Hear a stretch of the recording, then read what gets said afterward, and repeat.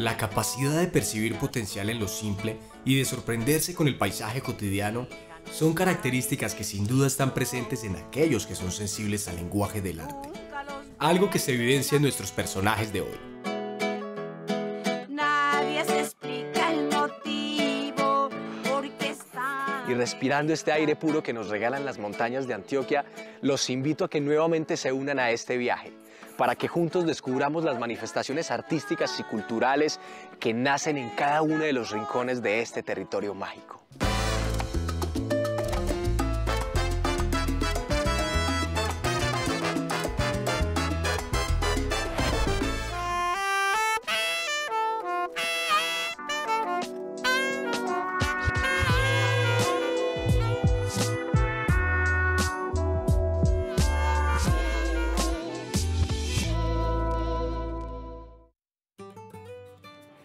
Hoy nuestros destinos están separados por 100 kilómetros de distancia, pero eso no será impedimento para poder disfrutar de todo el talento de nuestros artistas recomendados. Así que empecemos ya este recorrido por Río Negro y Sopetrán para disfrutar de todos los matices de nuestra región representados en el arte. Hasta el municipio de Río Negro llegué para descubrir y disfrutar del talento de una mujer echada para adelante y cuyos anhelos giran en torno a una sola cosa, la música.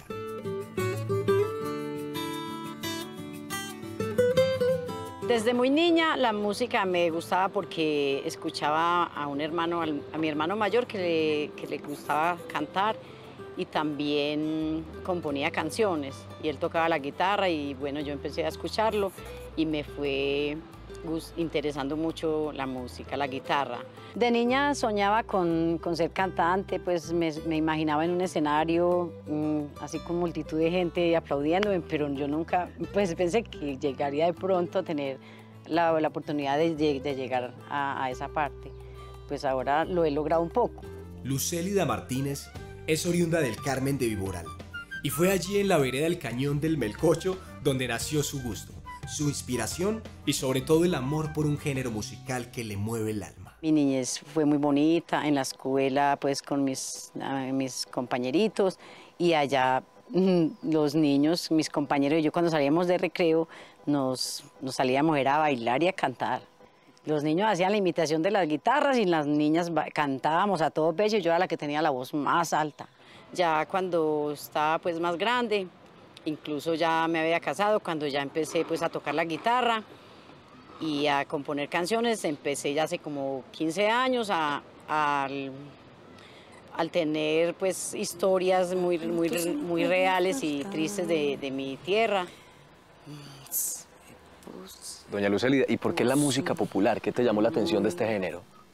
Bueno, cuando niña, pues obvio, en la radio, que era lo que uno tenía, un radio para escuchar, un radio de pila, se, nos ponían, por decir, la misa, que era por las tardes, a las 6 de la tarde, y, y de ahí escuchaban, nos dejan escuchar un ratico la, la- la emisora.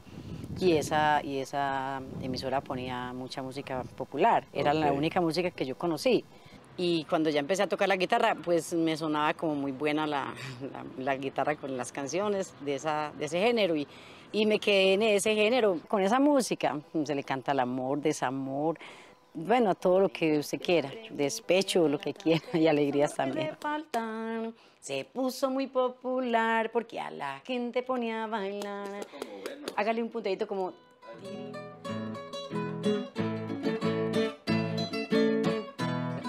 Aunque la historia de Lucélida me tiene muy emocionado, llegó la hora de conocer a mi siguiente recomendado. Y sería precisamente en medio del paisaje que lo llena de inspiración donde tendría lugar nuestro encuentro. La primera experiencia que yo tuve dentro de el arte fue cuando tenía aproximadamente tres años, que vivíamos en San Diego y en la terraza se encaramó una tarántula. Ahora yo sé que era una tarántula, pero cuando eso no sabía. La forma de yo comunicar eso con mis papás fue simplemente hacer un dibujo que parecía más una garrapata, pero ellos ahí mismo entendieron que era como una araña. Ese fue como el, el momento que más recuerdo a medida que iba pasando el tiempo y uno sacaba como estos trabajos, estas cosas y lo exponía como ante la gente. No lo exponía en una gran galería, sino que se los mostraba a la- familia, a los amigos. ellos le generaba mucha impresión, entonces ahí se daba cuenta uno de que era capaz de hacer algo que el resto no.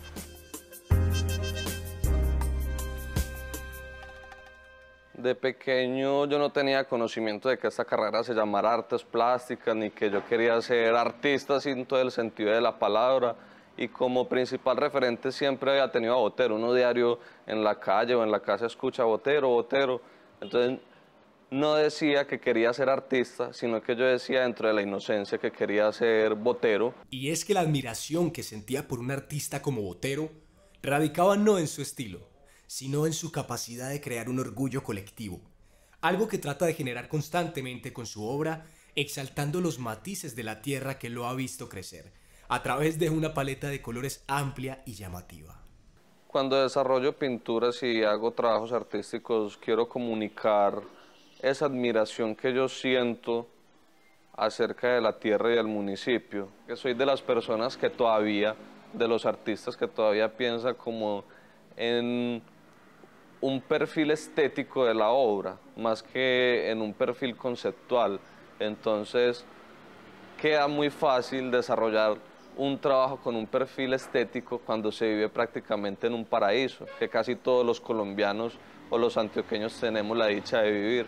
Se trata más de sentir, no de entender dentro del mundo del razonamiento y las ideas, sino de sentir esa pincelada que respira, que palpita, que tiene temperatura, que tiene calor, que tiene frío, así como en el lugar que habito. Dos talentos que no son fortuitos y que por el contrario son el fruto del trabajo y la dedicación que durante años han puesto en sus oficios. Pero no todo ha sido fácil. Por eso si quieren conocer más de su proceso, no se despeguen ni un solo segundo. Lo mejor de recorrer el departamento es dejarse sorprender por las delicias que se encuentran en cada rincón. Yo, por ejemplo, mientras venía en carretera hacia Río Negro, hice una dulce parada que me fascinó. ¿Han escuchado del tradicional merengón? Pues les recomiendo que prueben esta delicia que cada vez sorprende más con su variedad de sabores. Me va a acompañar un punteíto a ver si somos capaces.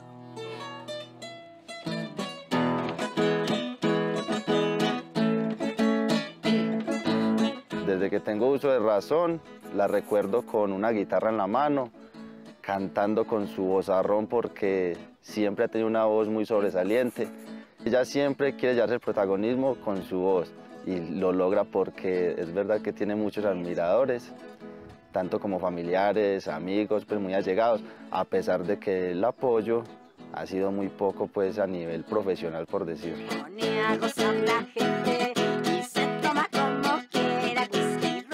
Esta voz fuerte y de color agradable a los oídos es la base perfecta para la interpretación de las letras que compone. Aquellas que hablan de la memoria del campo, de sus realidades alegres, pero también de las penas que allí se viven. Desde que te quise he sufrido contigo, pero muy sumisa he seguido tus pasos.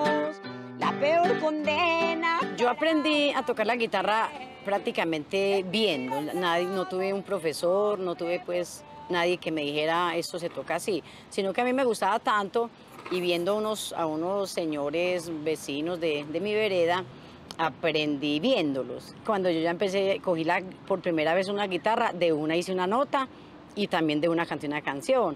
Entonces a la gente le, pues fue impactante para la gente porque ellos pensaban que yo ya sabía. Pues soy fan número uno de ella porque reconozco ese talento que ella tiene. Para mí es una persona, yo la motivo mucho porque le digo, vos sos muy talentosa. No tuviste un estudio musical, pero lo que sabes empíricamente es muy valioso. Ella construye memoria a través de sus canciones porque ella le canta a lo que ha pasado, al conflicto armado, a lo que han vivido las comunidades y lo que se vive en el territorio. Dificultades para, pues, para lo que uno hace, pues obvio que son muchas, pues falta de, de tener más, mm, como más, quien empuje, ¿cierto? Siempre la música de los campesinos se queda ahí, ahí en, en- la misma, como en el mismo contorno de, de la familia y los amiguitos. Mi padre es un hombre ya muy mayor y a mí me tocó como disfrutarlo prácticamente jubilado, pensionado. Entonces uno observa como esas personas que después de dedicar toda su vida a una profesión, a una carrera, a veces se quedan como en un stand-by. Y cuando fui a escoger la carrera, yo dije, necesito hacer algo que yo siempre lo disfrute y que no lo haga solamente por dinero, que cuando esté viejito pueda seguir trabajando con toda la plenitud del mundo. Sebas, ¿cómo fue la reacción de tu familia cuando decidiste que tu camino iba a ser el arte, hermano?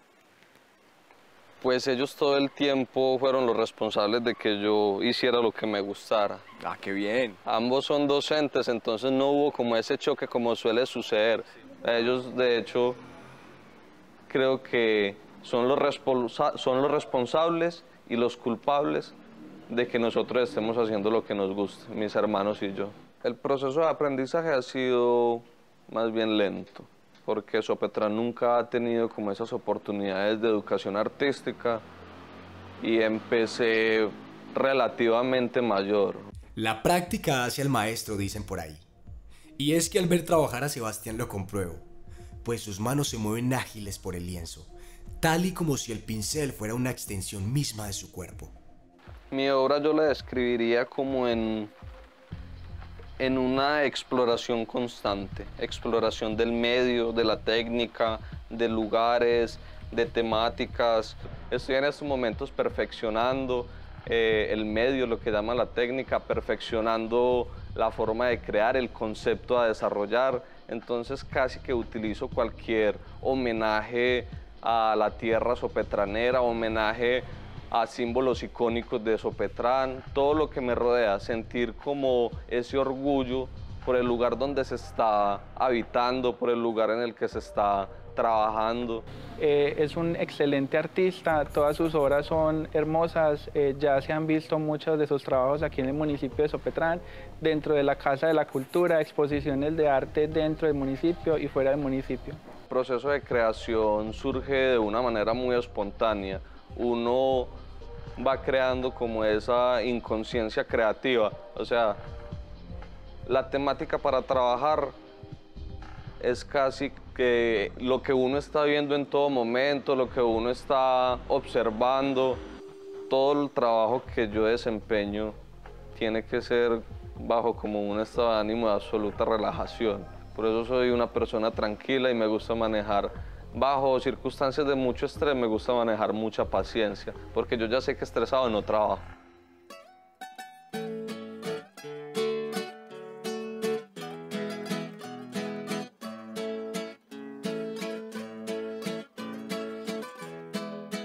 Bueno, yo tengo el conocimiento que usted es la compositora de sus propias canciones. ¿Cómo lleva a cabo usted este tipo de letras? ¿En qué se inspira? Mis letras siempre han sido inspiradas en, en casos de la vida real, casos, historias que me han pasado a mí y historias de amigos, hermanos y conocidos de mi vereda. Entonces siempre me inspiro es como en, lo que pasa real que yo conozco. Las canciones que compongo, si son tristes, le hago por decir algo, ritmos de, de ranchera, corridos.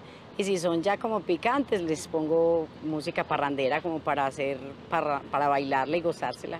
Mis canciones han sido reconocidas más que todo pues en mi territorio, en el Carmen de Oral y en, mis las veredas del Carmen. Ya conocen pues mucho mi, mi música porque yo he hecho participaciones en la fiesta del campesino, en el Carmen y, en, y últimamente eh, que llevamos ya tres mm, festivales de la montaña, de la guitarra. Nosotros nos levantábamos a las 5 o 4 de la mañana y el radio con la música popular fuerte, a moler las arepas, a prender el jogón de leña y hacer todas esas cosas que son muy cotidianas en la vida rural y que con eso nos sentimos identificados. Y el trabajo que hace Lucelia es eso, identificarse con esa tradición campesina, con esa ruralidad que no se pierda que a pesar de que hemos estado permeados por otras culturas, por otros tipos de, géneros musicales, ella sigue cultivando. En este momento hay un grupito de niños que ya vienen componiendo sus canciones, que ya están comenzando a, tocar la guitarra y han comenzado a participar en espacios y yo digo, wow, ese es un trabajo muy bonito que ella viene haciendo. Y si hoy vivo contigo. Solida, las personas que la acompañan a usted en escena hacen parte de su familia. ¿Cómo es esa compañía y ese apoyo? Sí, tenemos un grupo muy especial que es de mi, mi hermano, mi hijo, que se lo, pues, lo pusimos eh, tradición melcocheña.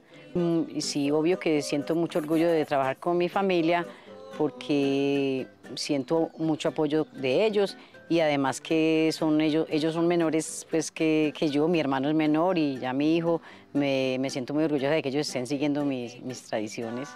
Yo he tratado siempre de seguirla a donde vaya. A veces obviamente las cosas se pueden complicar porque uno lleva su vida laboral, su vida familiar, su vida personal, pero siempre he tratado de estar al lado de ella. Ella lo puede decir que hay una parranda y yo puedo asistir, vamos para eso, apoyarla al máximo porque yo sé que eso a ella le da mucha más fortaleza de la que tiene.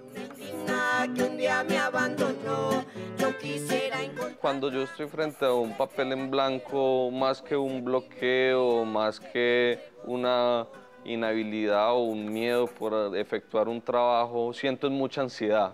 O sea, es un montón de ideas que simplemente fluyen y surgen.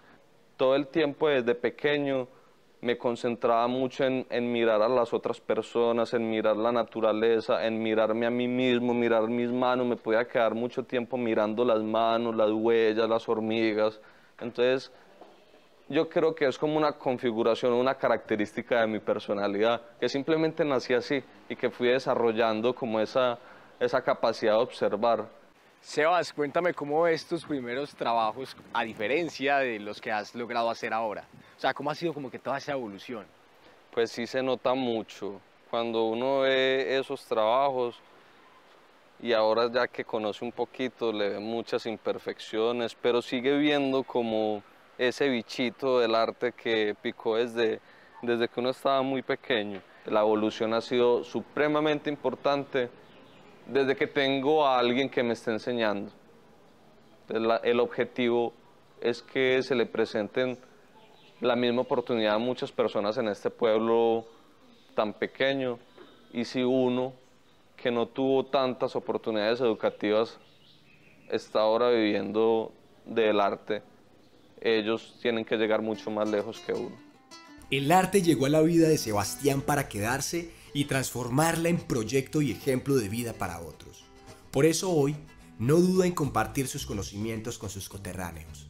La iniciativa de realizar labores docentes en la Casa de la Cultura fue iniciativa del alcalde de turno. Él fue el que, eh, según las capacidades que yo tengo, vio como un, un posible candidato y me ofreció la oportunidad de dictar clases. Sebastián, eh, su trabajo desde la parte como docente está muy capacitado y creo que tiene algo que se debería de trabajar siempre en cada uno de los procesos artísticos, que es la paciencia.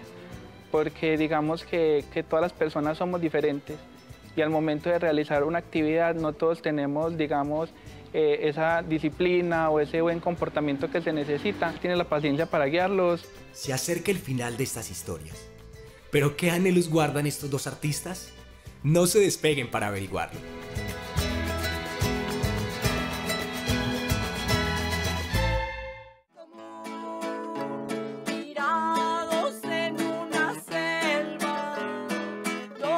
Cantos que conectan con el público. Sonidos populares y tradicionales que rescatan la memoria de un pueblo. Eso es lo que logra esta mujer con su trabajo. Al, de- al llegar a un escenario, obvio que todo el mundo sentimos nervios, pero yo siento nervios es con energía, con ganas de llegar y yo sé que, que el público me va a animar y me van a ayudar a quitar esos nervios y ya después de estar ahí ya no me, no me, yo me olvido de todo, yo ya sé es que me, me, me entro en la música y en mi guitarra y es a cantar que vamos. Y la gente, obvio, el aplauso del, del público y, y gritándome, llamándome, muchos pidiéndome canciones de las que yo ya tengo, pues propias. Entonces eso me da una alegría enorme. A veces eh, duda de sus capacidades porque uno puede ver artistas que son reconocidos y yo puedo asegurar de que mi mamá lo hace mucha, mucho mejor, mucho mejor. Entonces la idea es, es estar ahí apoyándola para que ella misma crea en su talento y explote ese potencial que tiene. Lo que todos anhelamos, lógicamente, pues tener una agrupación bien reconocida, que sus canciones sean bien reconocidas, que ella por lo menos pueda vivir de la música.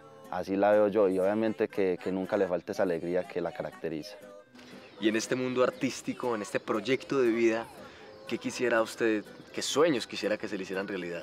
Mayor sueño sería poder grabar mis canciones y ser reconocidas pues ante un público famoso y poder llegar pues a lo alto de muchos artistas. Ese es a la cima y bueno, y- o al menos pues que una persona así reconocida como Arely Senado o Johnny Rivera lo, lo logren escuchar a uno siquiera un- una media cancioncita así. Hola, soy Arely Senado, la reina de la música popular y quiero mandarle un saludo muy especial a una mujer muy talentosa, a Lucélida Martínez en Carmen de Viboral, una mujer que canta hermoso, que quiere salir adelante, así que le mando un abrazo muy especial y te invito, Lucélida, a luchar por tus sueños, a seguir adelante. Dios te bendiga. ¡Ay, qué es dicha! ¿Quién hizo esto? ¡Ay, qué belleza! La historia de Lucélida es muestra de que los sueños con perseverancia y amor se cumplen. Su trabajo, cargado de la cotidianidad del campo y la alegría de su gente, son la mezcla perfecta para una buena pieza musical. Así que no me queda más que recomendarles que la sigan y apoyen su talento.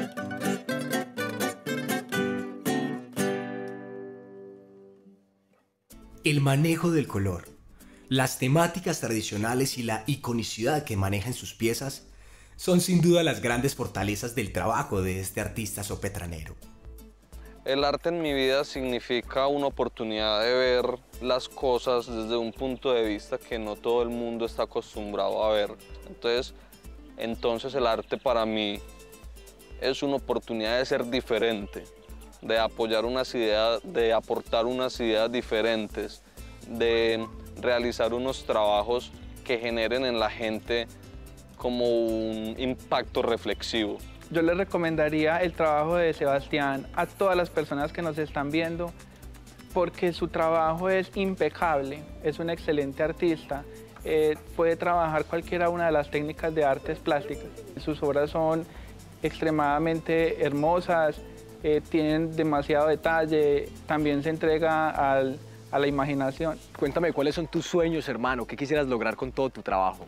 A mí sí me gustaría de pronto después de que pula toda la técnica, de que me sienta más capaz, salir a trabajar al extranjero, uno irse a vivir unas temporadas en España, en Francia, en otros países, pero siempre venir como a terminar mi carrera aquí y a disfrutar como me lo he disfrutado en estos momentos a Sopetrán. O sea, saborearte el éxito, pero en tu tierra, de en alguna mi manera. tierra, donde salí y donde me vieron nacer y crecer. No quiero llegar a viejo y sentir que no aproveché como esas cualidades que tenía por estar haciendo una única cosa. Me gusta es como tratar de pulir lo más que pueda la mayor cantidad de medios o de técnicas posibles. Sus obras icónicas que hablan del folclore y los matices representativos de nuestro país son de gran calidad. Por eso, si ustedes quieren llenar de color alguno de sus espacios, yo les recomiendo que lo hagan con alguna de las obras de este artista de Sopetrán.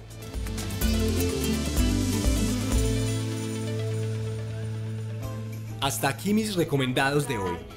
Y espero que como yo, ustedes hayan quedado enamorados de su talento. Yo seguiré recorriendo este territorio con la ilusión de continuar descubriendo personajes maravillosos y por supuesto hacerlo con su compañía.